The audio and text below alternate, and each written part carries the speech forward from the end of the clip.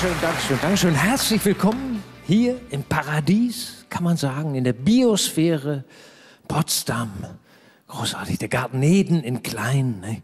Herzlich willkommen zu Nur im Glück. Heute erfahren Sie hier im ersten, wie werde ich glücklich und wie erhalte ich mir diesen Zustand? Und die Antwort lautet, sie ist ganz einfach, Alkohol. Ist allerdings eher eine kurzfristige Hilfe, muss man sagen. Danach wird einem erstmal schlecht, dann braucht man irgendwann eine neue Leber und dann hat man doch wieder schlechte Laune. Ne? Das kriegen Sie mit Saufen gar nicht mehr weg, wenn Sie so viel schlechte Laune haben. Deswegen wollen wir heute etwas tiefer eintauchen. Das Thema der Glücklichsein ist möglich. Ein positives Leben beginnt im eigenen Kopf, hier oben. Da findet das Leben statt, da oben drin. Ne? Da wird das alles verarbeitet, was von außen reinkommt. Und da trägt man als Besitzer des Kopfes, in dem das alles verarbeitet wird, durchaus eine Mitschuld am Verlauf des Lebens. Dieses Programm ist deshalb inspiriert von positiven Denkern, wie zum Beispiel äh, Mickey Krause. Den kennen Sie, der das bekannte Lied gesungen hat. Zehn nackte Friseusen, unterschätzte Lyrik, wie ich meine. Denn dort heißt es, es gibt 50.000 Weiber, die haben einwandfreie Leiber, doch ich sag no, na, na, na, no, ich will zehn nackte Friseusen. Das ist die neue Bescheidenheit in diesem Land. Das ist wunderbar. Das ist, ja, ich finde auch, das ist.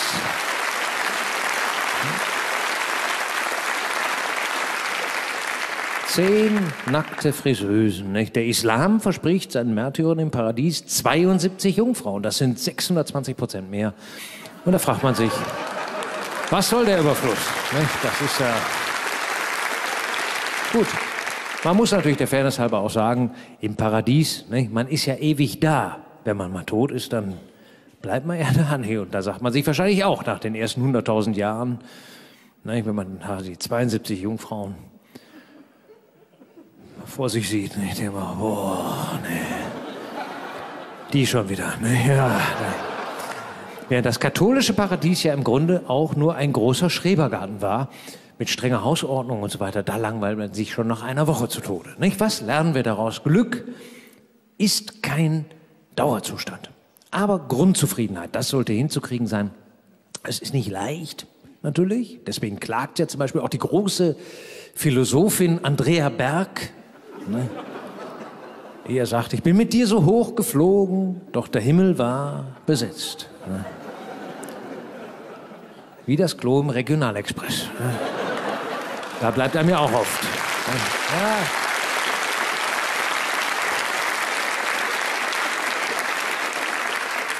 Da bleibt einem auch oft die Erlösung versagt. Aber der Traum des Glücks, den sollten wir nicht aufgeben. Wie der große Visionär Semino Rossi, der uns eine große Zukunft prophezeit, wenn er singt. Und noch in 100 Jahren halte ich dich fest in meinen Armen. Die sind wahrscheinlich auch schon ein bisschen steif und kalt, aber egal. Mit ein paar Geigen drunter klingt das doch alles recht positiv. Nicht? Wobei ich den Abend hier vielleicht etwas diffiziler gestalten möchte, also auch für Nicht-Hirntote geeignet, aber grundsätzlich finde ich diese Idee gut, das Glück zu suchen, ja, im Sinne von Willi Milovic der auch erst das existenzialistische Geworfensein in die Welt beklagte, im Sinne von Martin Heidegger. Wir sind alle kleine Sünderlein, es war immer so, es war immer so. Dann stellte er dem gegenüber den Gedanken der Erlösung.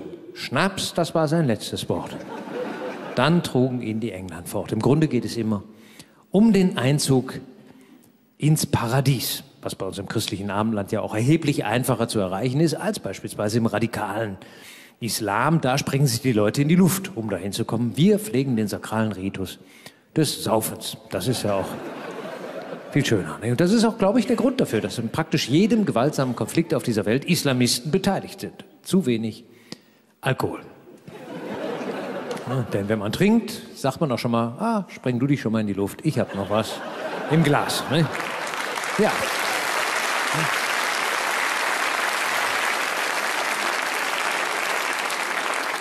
Überall sind Irre. Ja. Nehmen Sie einfach mal einen Straßenverkehr. Ne? Anstatt gelassen zu sein und glücklich und sich an die Regeln zu halten ne? und sich zu freuen, dass diese benzinbetriebene Sänfte einen komfortabel durch die Landschaft trägt. Ne? Stattdessen regt man sich auf die ganze Zeit, macht mir vor mir einer einen kleinen Fehler, ich bin auch schlimm, muss ich sagen an der Stelle, wenn vor mir einer einen kleinen Fehler macht, da brüll ich doch mal, Führerschein abgeben, rüber runter, in siedendem Öl kochen. Wobei ich natürlich weiß, so geht's nicht. Ich habe ja auch meist gar kein siedendes Öl dabei. Obwohl ich mir schon mal überlegt habe, ob ich mir nicht mal so eine Reisefritteuse zulege. Ne? Das ist aber. Ne, wir müssen wieder lernen. Ja, da ist noch einer, der sich nicht halten kann. Im Auto. Aber das ist genau das, was wir wieder lernen müssen, uns zu entspannen. Ne? Was hätten die Menschen früher dafür gegeben, so reisen zu können wie wir heute? Das wäre durchaus ein Grund, glücklich zu sein. Aber das Problem ist, sobald man etwas hat, ist es ja auch schon wieder Gewohnheit. Dann ist es selbstverständlich. Und am Ende regen wir uns auf, wenn was nicht klappt. Anstatt fasziniert zu sein. Ich versuche immer wieder, mein Auto als Wunder zu begreifen. Mein Auto hat zum Beispiel eine Distronic. Das fasziniert mich immer wieder. Kennen Sie das? Distronic? Das ist so also da gibt man eine Geschwindigkeit ein und die hält der Wagen dann. So auf der Autobahn 230, nicht da. Und dann, wenn da vor Ihnen einer kommt, nicht, das merkt der Wagen und dann bremst er. Das ist kein Scherz. Der bremst, zeigt auch den Abstand an, 150 Meter, 140 Meter, 130 Meter und bremst. Ne? Gut, wenn jetzt direkt vor Ihnen einer ausschert, nicht, dann zeigt er halt an, drei Meter, ein Meter, minus ein Meter. Ne? Dann kommt so ein, da Nee, so neben dem Tacho kommt da so ein dreieckiges Zeichen mit dem Schraubenschlüssel drin. Nee, und das ist das Tolle. Ja. Nicht einen Moment lang denken sie, oh Gott, ich bin ihm reingefahren. Sie denken bloß, geil, er hat es genau angezeigt. Das ist faszinierend. Ja, das ist schön.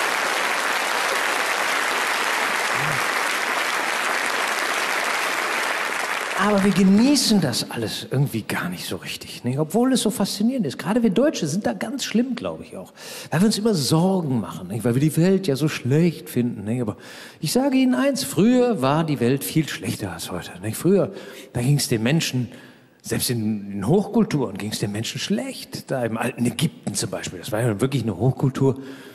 Aber wenn sie da als Sklave Pyramiden bauen mussten, das war mal richtig scheiße. Nicht? Da haben die da geschuftet. 150.000 Menschen, 35 Jahre lang haben die an einer Pyramide da. Ne, da, ja gut, jetzt sagen Sie, na und, bei uns arbeiten doppelt so viele Leute doppelt so lange alleine an der Baugenehmigung. Aber, nein,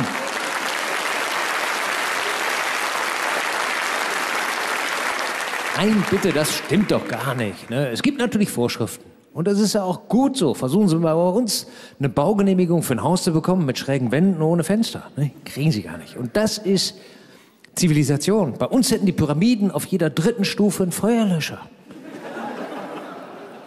Und das ist gut so. Bei uns ist alles in Ordnung. Auf der Autobahn wenn da eine kleine Unebenheit ist, so ein, so ein, so ein Hugel, nicht? da werden zwei Kilometer vorher, werden Schilder aufgestellt, man wird runtergebremst, auf 60 Blinklichter, Baken, die Spur abtrennen. Nicht? Gut, man hätte auch den Hugel wegmachen können, aber das ist ja gar nicht der Sinn der Sache. Nein.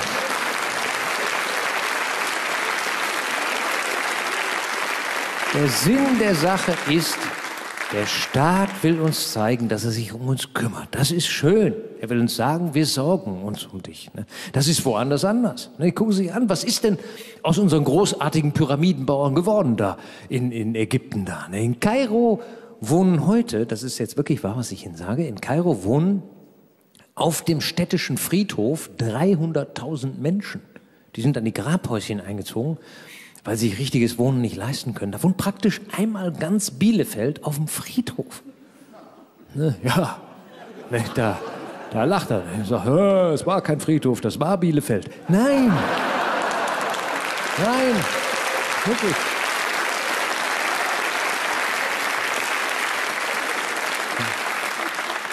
Ich will doch nur sagen, wir könnten eigentlich glücklich sein, dass wir hier leben und heute, dass wir überhaupt Menschen sind. Da können wir uns als was Besseres fühlen, als sagen wir mal ein, ein, ein, ein Schwein oder so. So weit sind wir genetisch nicht davon entfernt. Wussten Sie, dass, dass der Mensch gar nicht vom Affen abstammt, sondern äh, dass Mensch und Affe gemeinsame Vorfahren haben, so eine Art Hängebauchschwein. Ne? Nein, das ist wirklich wahr. Ich kann, seitdem ich das weiß, kann ich keine Metzgerei mehr betreten, ohne zu denken, dass das ein reiner evolutionärer Glücksfall ist, dass ich auf der Seite der Theke stehe. Und das ist ja, ja, das,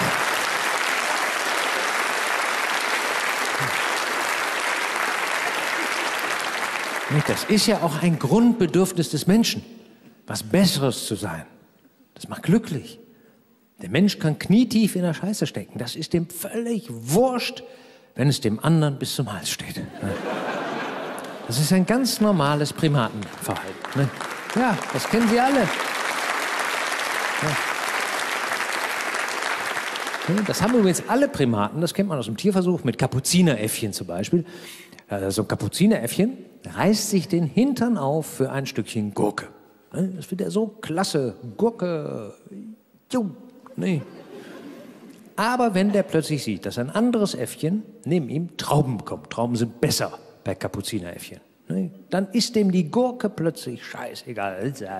Gurke. Und dabei geht es natürlich nicht um die Gurke. Es geht um den anderen. Das ist wie bei uns. Das geht von der Gurke über die Traube und das Louis Vuitton-Täschchen zum Ferrari. Da stehen die Leute am Straßenrand. Ferrari, ich will keine Gurke mehr fahren. So sieht's aus. Das ist kein Neid. Das ist das Kapuzineräffchen in uns. Statt sich zu fragen, warum der Ferrari fährt. Ne, vielleicht, weil er beim Ferrari-Fahren mal ein paar Minuten nicht an seine Erektionsstörungen denken muss. Ne? hey, ja. Ja, aber. Hat nicht auch dieser Applaus schon so ein bisschen was Kapuzineräffchen-mäßiges? Ja? Hey, der Ferrari-Fahrer, Erektionsstörung. Anstatt dass es uns egal ist, was der fährt, soll er doch Ferrari fahren. Ist das sein Problem? Er kriegt in ganz Potsdam keinen Parkplatz, weil er keine einzige Parkhausabfahrt runterkommt, ohne über den Boden zu schlafen. Naja, aber so ist der Mensch. Er will hoch hinaus und dann schleift er über den Boden. Das ist das Leben. Es hat halt wenig Erhabenes. Ne? Früher hat man ja geglaubt, der Mensch sei ein erhabenes Wesen, ein Ebenbild Gottes. Aber gucken Sie sich den Menschen doch mal an. Allein die Verdauung. Da ist ja nur ein Beispiel. Aber ich glaube nicht zum Beispiel, dass Gott Verdauung hat. Ja. Gut, wenn er allmächtig ist, kann er alles. Also auch verdauen. Vielleicht ist das Universum ja gar nicht in einem erhabenen Schöpfungsakt entstanden, sondern mehr so. Es gäbe dem Begriff Urknall eine ganz andere Bedeutung. Also. Ähm,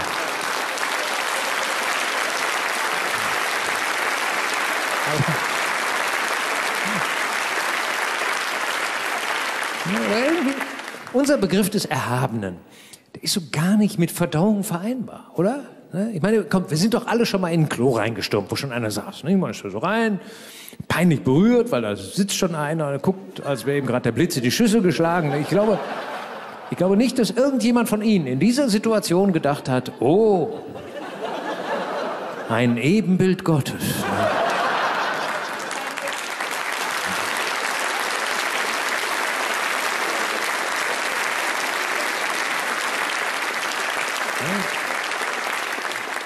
Erhabenheit ist in der Natur nicht vorgesehen.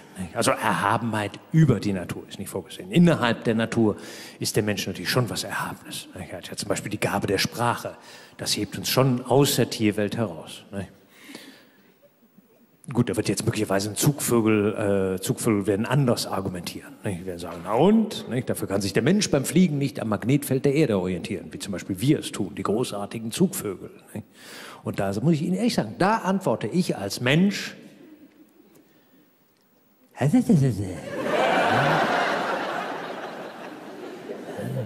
Dafür orientiert sich der Mensch beim Fliegen an der Schwerkraft. Das ist doch auch schon was. Ne? Wir könnten als Menschen eigentlich selbstbewusst sein und glücklich sein über das, was wir erreicht haben im Rahmen der Evolution. Aber das ist evolutionär nicht angelegt in uns. Angelegt in uns ist die Sorge, die ständige Sorge. Das hat uns beim Überleben geholfen, dass wir nie zufrieden sind, sondern immer wachsam, immer. Diese Lebensunfähigkeit, diese Unfähigkeit zum Glück geben wir von Generation zu Generation weiter. Das geht schon im Kindergarten los, wo die Kinder ja eigentlich lernen sollten, glücklich durchs Leben zu gehen, ihre Bedürfnisse zu entdecken, mit Freude, nicht Fähigkeiten zu entwickeln und so weiter. Da, da sagen wir den Kindern im Kindergarten, was sagen wir denen? Nicht sei glücklich, sei froh, sondern wir sagen denen, mein Kind, du hast dein Leben vor dir. Die Welt steht dir offen und ich sage dir, sie ist im Arsch. Der Meeresspiegel steigt, du wirst entsaufen, die Sonne wird dir das Hirn verdorren, die Städte werden verwüsten, du hast Schulden bis zum Arsch, du wirst am Krebs verrecken und am Ende dement dahinsiechen. Und jetzt isst ein gesundes Frühstück und hab Spaß. Das ist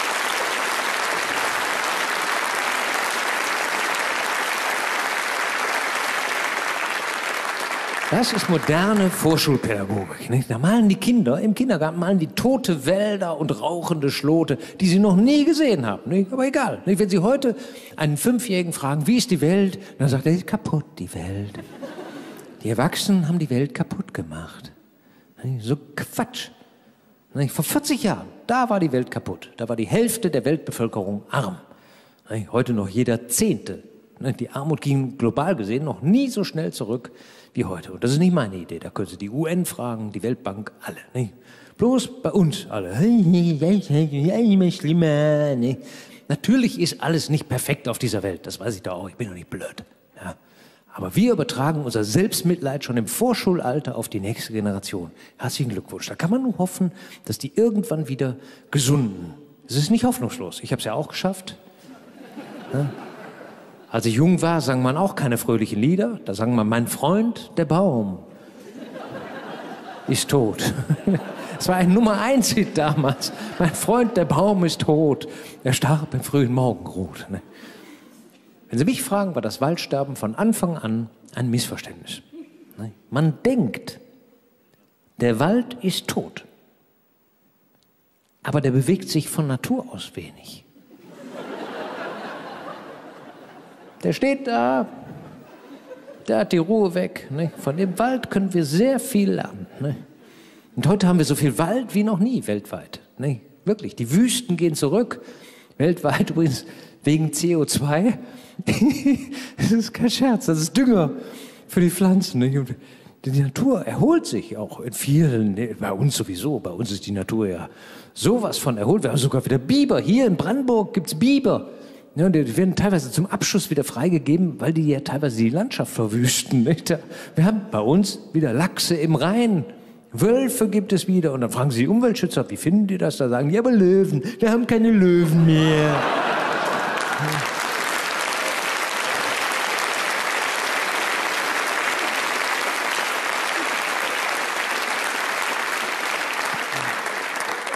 Wie, wie soll ich denn jemanden motivieren, für eine bessere Welt zu kämpfen, wenn man am Ende nie zufrieden sein darf? Ja, selbst Wildkatzen breiten sich wieder aus bei uns. Der Luchs ist wieder da. Nicht? Das finden Naturschützer wahrscheinlich begrüßenswert, nicht? was ich dann sogar auch, ich, verstehe es gar nicht, weil ein einziger Luchs verbraucht im Jahr mehr Tiere als ein Geländewagen. Ja? Ja, aber da sind die Umweltschützer tolerant. Ne? Die glauben wahrscheinlich, sie könnten die Luchse zu Vegetariern umerziehen. Ne? Die legen wahrscheinlich schon im Wald die Dinkelbratlinge aus. Ne? Ne? Weil wir bekloppt sind, weil wir sie nicht mehr alle haben, weil wir nicht gebaut sind für das Glück. Ne? Wir haben eine Gesundheitsversorgung wie niemals zuvor in der Menschheitsgeschichte. Und alle sind am Jammern. Ne? Diese Apparatemedizin, das ist alles so schlimm. Nicht? Diese Apparate mit diesen Schläuche und so. Nicht? Hätten die Menschen in Afrika gerne mal Schläuche. Ne? Wenn die da was Schlimmes haben, da kommt der Schamane und streicht ihnen mit dem Wieselfell über den Rücken. Ne? Ne? Die wären für einen schönen Schlauch mal dankbar. Ne? Ja klar, bei...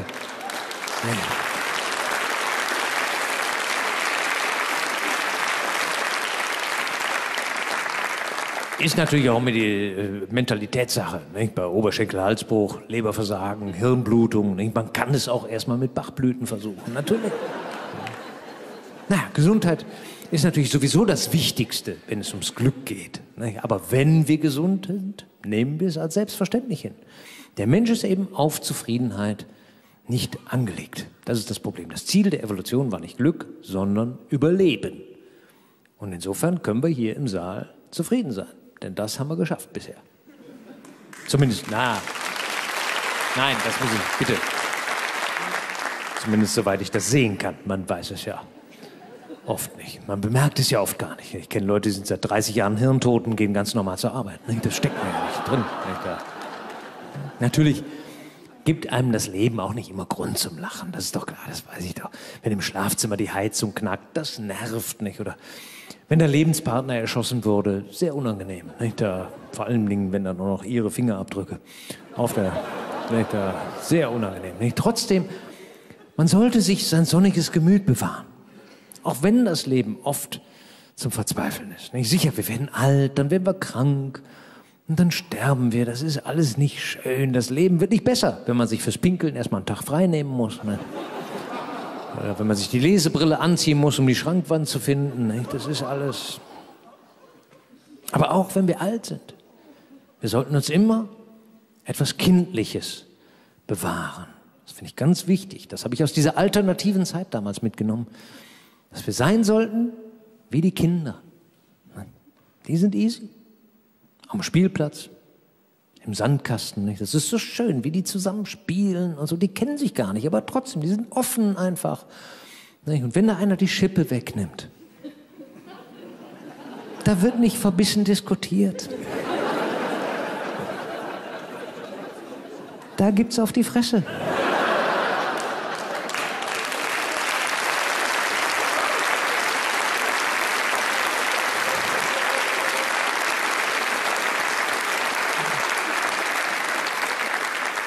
Und der Stärkere kriegt die Schippe. So einfach kann das Leben sein. Ne?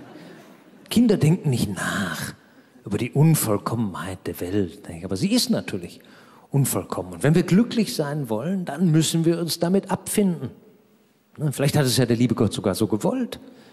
Vielleicht hat er ja Spaß daran, dass hier nichts so klappt, wie es eigentlich sein müsste. Die Idee ist mir neulich gekommen, als mir wieder der Sahnebecher in der Einkaufstüte ausgelaufen ist. Da habe ich mich auch gefragt, wo war Gott? Als das passierte. Nein. Gut, vielleicht ist er auch gar nicht verantwortlich. Vielleicht gibt es ja gar keinen Anfang und keinen Schöpfer und kein Ende. Nicht? Vielleicht ist auch alles einfach ein ewiger Kreislauf. Nicht? Die Idee ist mir beim Formel-1-Rennen gekommen. Nicht? Vielleicht dreht sich alles im Kreis, wie der Vettel. Da wir rasen durch das Universum ohne Sinn und Verstand und ohne Ende. Und wenn man meint, man hat das Ziel erreicht, dann merkt man plötzlich, man ist wieder genau da, wo man losgefahren ist. Deswegen, ja, deswegen.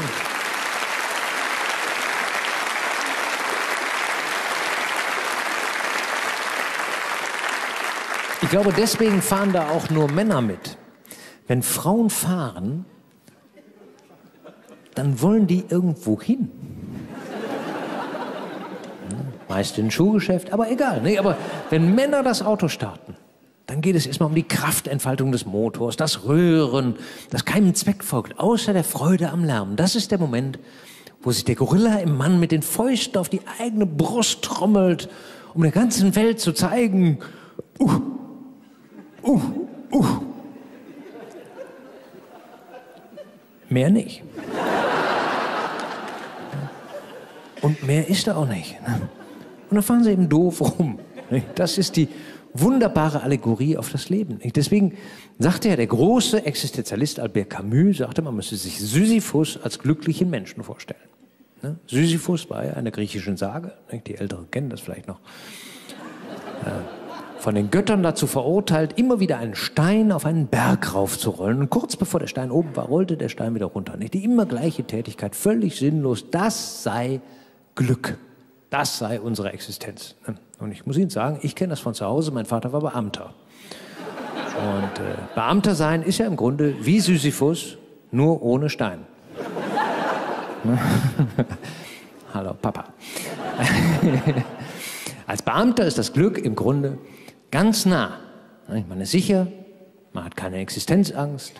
Ich glaube, meinem Vater ist erst nach der Pensionierung klar geworden, dass er möglicherweise trotzdem sterblich sein könnte. Das ist die natürliche Grenze des Glücks, die Endlichkeit. Der Tod ist ernüchtert.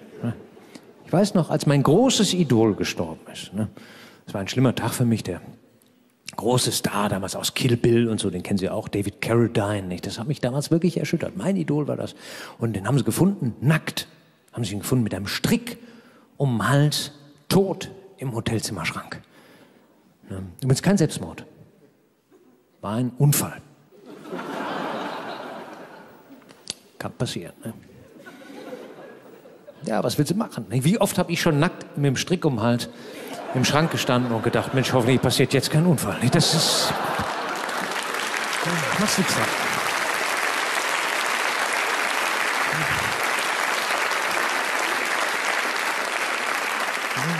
Weg, weg, weg der Mann. Nicht? Und irgendwann hat man unweigerlich das Gefühl, alles geht den Bach runter. Nicht? Wenn ich die Zeitung lese, da denke ich manchmal, ich lebe ausschließlich unter Zeugen Jehovas. Überall lese ich im Grunde nur, das Ende ist nah, das Ende ist nah, das Ende ist nah. Nicht? Und am Ende steht man mit dem Strick um den Hals im Schlafzimmerschrank und denkt, hoffentlich passiert nichts. Nicht? Das ist die humane Gesellschaft, in der wir heute leben. Nicht? Ist ja eigentlich, eigentlich ist es ja ein Glücksfall. Es ist ja Im Grunde entsteht das halt nur aus der Berichterstattung, dieser Eindruck, es geht alles den Bach runter. Im Grunde leben wir in einer unglaublich guten Gesellschaft. Zivilisiertheit war ja historisch gesehen immer eher die Ausnahme. Und wir leben ja in einer zivilisierten Welt. Wie viele Mütterchen werden bei uns im Parkhaus nicht überfallen? Das ist doch das eigentlich Erstaunliche. Obwohl es so einfach wäre. Ja, bitte, bei uns gilt nicht das Recht des Stärkeren. Woanders ist es normal. In Rio wird man erschossen. Da gewöhnt man sich wahrscheinlich dran. Das ist eine andere Fluktuation da. Oder in Bogotá oder Johannesburg. Da schießen sie regelmäßig aus dem Auto raus. Ne, da, da, da fahren mit dem Auto weiter. Dann. Ne, bei uns sind Straßenräuber selten. Und wenn, dann sind sie harmlos. Lassen einen ins Röhrchen blasen. Komm, das geht doch alles noch. Das, ne, aber, ja, aber. Aber wir sind halt nie zufrieden. Nicht? Wenn wir arm sind, wollen wir reich sein. Und die Reichen sagen, oh, so ein Vermögen, das ist aber auch eine Belastung. Stimmt ja auch. Ne? Wenn man acht Autos hat, aber nur sechs Garagen, nicht? das sind auch Sorgen. Ne? Oder noch schlimmer, sechs Autos, acht Garagen. Das ist mal richtig scheiße. Nicht? Das ist. Ne? Ganz im Ernst, ja, es gibt zwei Wissenschaftler. Der eine ist Nobelpreisträger sogar. Krüger und Kahnemann heißen die. Und die haben untersucht, ob Geld wirklich glücklich macht. Und die haben was ganz Interessantes rausgefunden. Die haben herausgefunden, reiche Menschen glauben selbst, dass sie glücklicher sind, aber sie sind es nicht. Wenn man nämlich im Detail nachfragt, sind die sogar weit unzufriedener, haben keine Zeit, über Stress und so. Ne? Bei uns haben es eben alle schwer. Ne? Wie schrieb Brecht damals so schön, die einen stehen im Dunkeln und die anderen stehen im Licht. Aber das stimmt nicht in Deutschland. In Deutschland stehen immer alle im Dunkeln. Nein. Aber man muss im Dunkeln gar nicht unglücklich sein. Das ist eben die Mentalitätssache. Der Oktopus zum Beispiel, an dem können wir uns ein Beispiel nehmen. Der Oktopus lebt tief im Dunkeln, so ab 30 Meter Wassertiefe, sieht man ja auch nichts mehr. Nicht? Sonst würden sich auch so hässliche Tiere gar nicht fortpflanzen können. Nicht? Ja, bitte, dann würden die ja aufeinandertreffen würde ich sagen, boah, du siehst aber scheiße aus. Weg wären sie nicht da. Nee. So leben die da unten nicht und haben Spaß, nicht? weil die haben ja außer Fortpflanzung auch gar nichts zu tun. Ja, nicht? Und ein Oktopus hat ja acht Arme, nicht? das muss gut sein. Ja. Aber der Mensch ist eben anders. Er hat Angst vor der Dunkelheit, nicht vor der Nacht. Nyktophobie nennt man das. Nicht? Das ist ganz schlimm. Nicht? Es gibt ja viele Phobien die mit Dunkelheit zu tun haben. Nicht? Die Achlophobie zum Beispiel, die Angst vor Dunkelheit schlechthin. Oder die, die, die Kyphophobie, die Angst, sich zu bücken, nicht? weil man ja auch nie weiß, wer hinter einem steht im Dunkeln. Nicht? Das ist, ja, nachher steht da so ein Oktopus mit acht Armen und sagt, hallo, ich bin eine schöne Prinzessin. Dann aber, oh, nix wie weg hier. Nicht? Nicht? Aber woher kommt diese Angst? Ich glaube, sie kommt aus der Information. Überall ist Information weil wir in einer Informationsgesellschaft leben. Und in einer Informationsgesellschaft ist Information immer auch Sensation. Es muss Panik sein, sonst guckt niemand hin. Deswegen steht ja überall, oh, Krise, Weltuntergang. Oder haben Sie mal eine Zeitung gesehen, wo vorne auf der Titelseite gestanden hätte, nichts passiert? Ne? Ist ganz schwierig. Ne? Kauft auch keine Sau die Zeitung. Ne? Und wenn da drauf steht, morgen 14.31 Uhr Weltuntergang, nicht, da greifen alle zu und sagen, was, morgen in der Mittagszeit, was eine Scheiße. Nicht, da. Niemals mit in einer Zeitung stehen, alles prima, auf der ganzen Welt eine gute Laune, selbst beim Taliban ist heute in der Disco Damenwahl. Das gibt's nicht. Kommt nicht vor.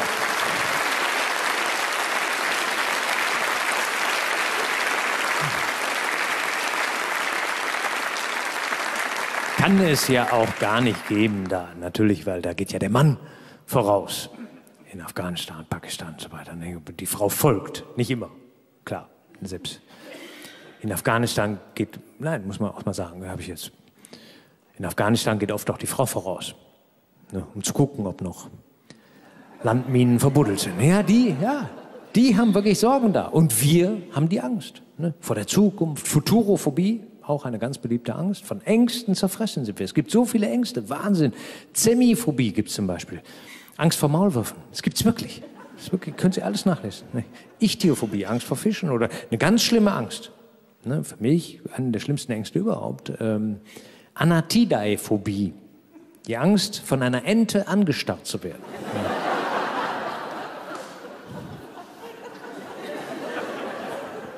Gibt Schlimmeres. Ne? Zum Beispiel Arachibuterophobie, zum Beispiel die Angst, dass einem Erdnussbutter am Gaumen kleben bleibt. Das ist auch nicht schön. Darf man nicht verwechseln mit der Arachnophobie, ist die Angst vor Spinnen. Die hat ja fast jeder. Wahrscheinlich gibt es auch noch die Arachnobuterophobie, die Angst, dass einem Spinnen am Gaumen kleben bleibt. Aber das weiß ich nicht. Das äh, habe ich noch nicht gefunden. Ne? Aber überall Ängste. Nicht? Und diese Ängste versuchen wir zu überwinden mit Ersatzbefriedigung. Das macht uns auch nicht glücklich. Ne? Konsum, gut, Konsum macht glücklich, aber eben nur ganz kurz. Ich habe zum Beispiel hab mir was gekauft, da war ich so frustriert, dann habe ich was gekauft, das war, das war eigentlich schön. Ich habe so, so, ein elektrisches Krawattenrondell für einen Kleiderschrank. Ne? Da passen in 18 Zentimeter Schrankweite, bitte, da muss man nicht lachen, das ist ein tolles Produkt. Ne? Da, 18 cm Schrankbreite, 68 Krawatten passen da rein, die sich auf Knopfdruck batteriebetrieben im Kreis bewegen und von vorne beleuchtet werden, damit ich auch sehe, welche Krawatten ich nehmen würde, wenn ich Krawatten hätte. Und sowas.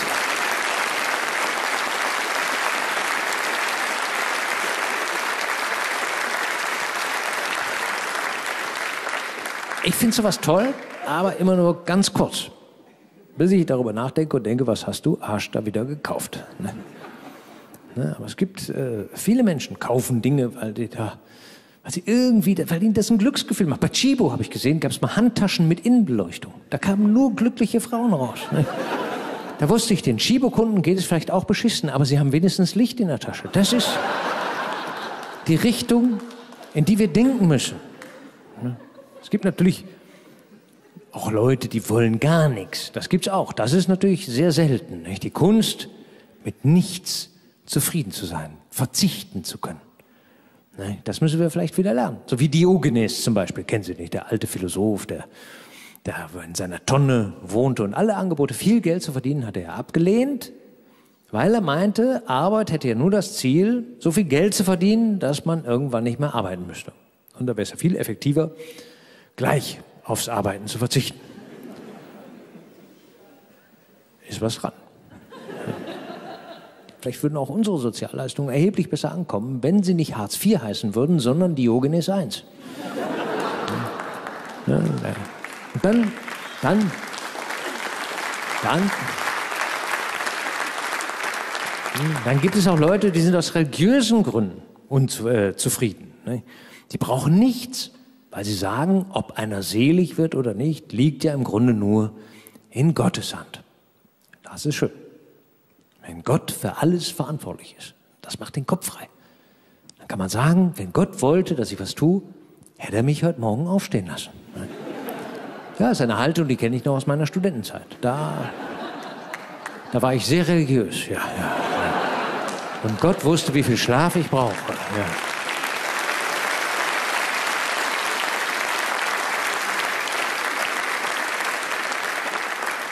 Gottvertrauen ist vielleicht auch das, was uns oft zum Glück fehlt.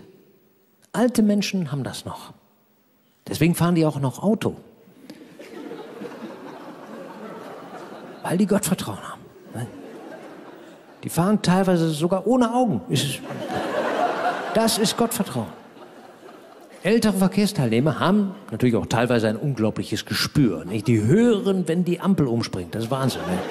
Wobei ich sagen muss, meine Oma hört und sieht nichts. Die richtet sich beim Fahren nach dem Magnetfeld der Erde. Geht auch. Ne? Wie die Wale. Ne? Und gerade alte Menschen brauchen das Auto natürlich auch, weil es zu Fuß nicht mehr geht. Was willst du da machen? Das ist wie bei Betrunkenen. Viele müssen ja fahren, weil sie sich auf den Beinen gar nicht mehr halten können. Was willst du tun? Ne?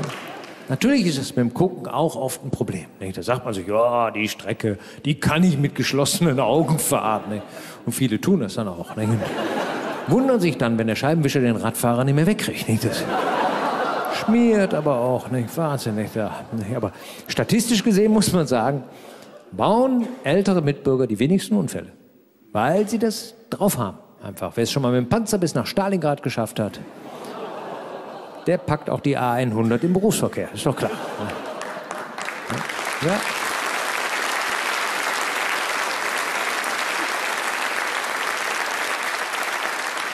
Das Problem an der Sache ist natürlich auch, dass viele Autos auf ältere Verkehrsteilnehmer einfach nicht eingerichtet sind. Das geht bei den Sitzen los, nicht? Gerade auch ältere Herren kommen ja oft gar nicht mehr raus aus dem offenen Carrera 911, nicht? Wenn die erstmal eins geworden sind mit dem Leder, pff, da nicht? Da sind die bei Mercedes weiter. Nicht? Die neue S-Klasse gibt es jetzt auch mit Katheterhalterung. Nicht?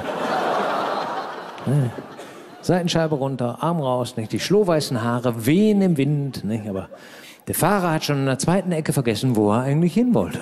Das, ist, das ist ja nicht gut, nicht? wenn man nur für 10 Euro tankt, wenn man denkt, voll lohnt sich für mich nicht mehr. Das ist nicht gut. Aber es ist die richtige Haltung. Dem Tod gelassen ins Auge zu schauen. Das ist Glück. Ne? Natürlich ist die Welt nicht immer auf unserer Seite. Ich merke das immer, wenn ich mir zum Beispiel eine Badewanne einlasse. Draußen ist kalt, es regnet und bei mir im Badezimmer, da dampft es schön. Nicht? Das ist so herrlich, noch ein bisschen Schaum. Und aber sobald ich mit zwei Füßen und dem Hintern in der Wanne bin, zack, klingelt das Telefon. Ich weiß nicht, was das ist. Ne? Und natürlich habe ich vergessen, es mitzunehmen. Es liegt in der Küche, dem am weitesten entfernten Ort in der ganzen Bude. Ich muss raus aus der Wanne, Parkett versaut, Füße eiskalt, Erkältung, Tod. Nee, so ist es doch. Es ist, es ist ein Naturgesetz.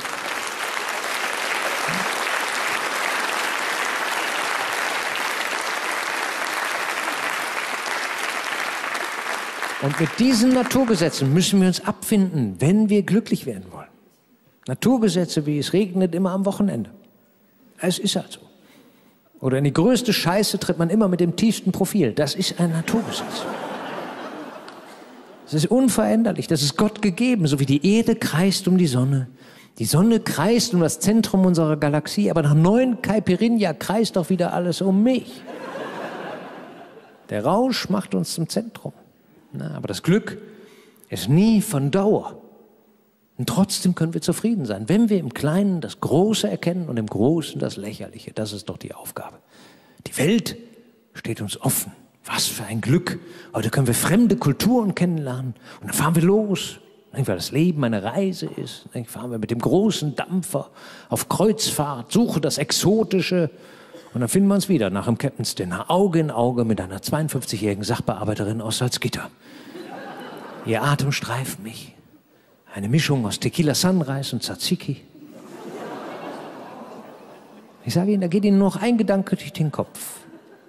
Wenn das die Krone der Schöpfung ist, wie riecht dann der Rest?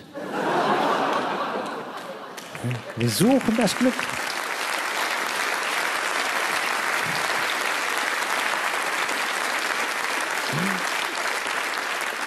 Wir suchen das Glück und was kriegen wir? Happy Hour. Ne? Mehr war nicht drin. Ne? Als Wittgenstein sagte, der Tod ist nur das letzte Heilmittel gegen das Leben. Das muss auf der AIDA gewesen sein. Ne? Das Leben ist kein Wunschkonzert. Es verspricht uns, das Glück ist möglich, aber meist kostet es eben 9,90 Euro die Minute und ist gerade nicht lieferbar. Ne? Wie sagte ein großer Philosoph, wer meint, etwas zu sein, hat aufgehört, etwas zu werden. Wer hat's gesagt? Richtig, es war Oliver Kahn im FC Bayern Jahrbuch 97, 98. Und recht hat er gehabt. Ne? Das Glück muss man sich immer wieder neu erarbeiten. Ich habe das heute Morgen gemerkt, da kam ich zu meinem Auto zurück, da stand eine Politesse, schrieb mich auf und sagte, hier können Sie nicht stehen bleiben, sagte die zu mir. Und ich dachte, ja, da hat sie recht. es gibt keinen Stillstand. Und da habe ich zu ihr gesagt, bitte schreiben Sie mich auf. Sie haben völlig recht. Und die hat es gar nicht verstanden. Die guckte so. Hm, ne. ich bin dabei geblieben. Ich habe zu ihr gesagt, bitte schreiben Sie mich auf. Ich würde an Ihrer Stelle genauso handeln. Ne. Da fing sie so ein bisschen an zu zittern. Weil sie dachte, ich wäre wahnsinnig. Dann habe ich ihr den Arm um die Schultern gelegt und zu ihr gesagt, bitte schreiben Sie mich auf. Vielleicht wäre ich ja auch Strafzettelschreiber geworden, wenn ich in der Schule versagt hätte.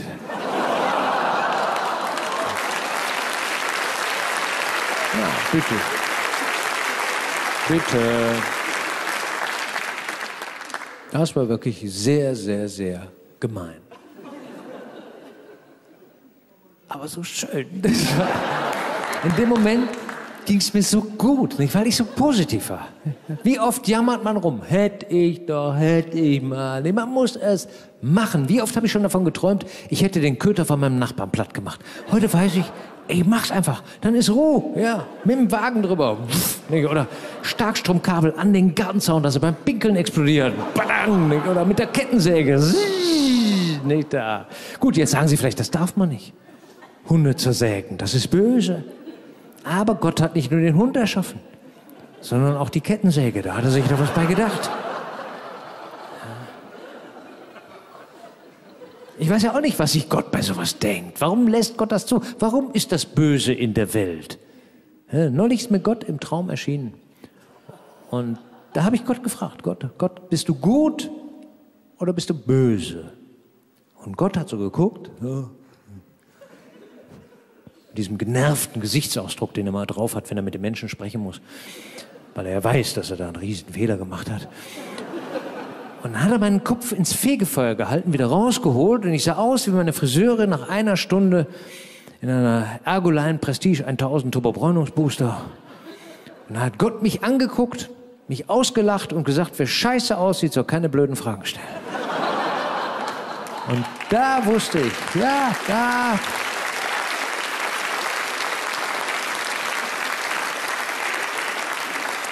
Da wusste ich, dass Gott uns nicht geschaffen hat, damit wir dumme Fragen stellen.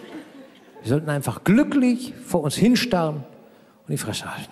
Wie die Hunde im Grunde. Da ein bisschen rumschnuppern, hier mal ein Häufchen legen und uns dann freuen, wenn am Ende jemand reintritt. Nicht? Dann lachen wir.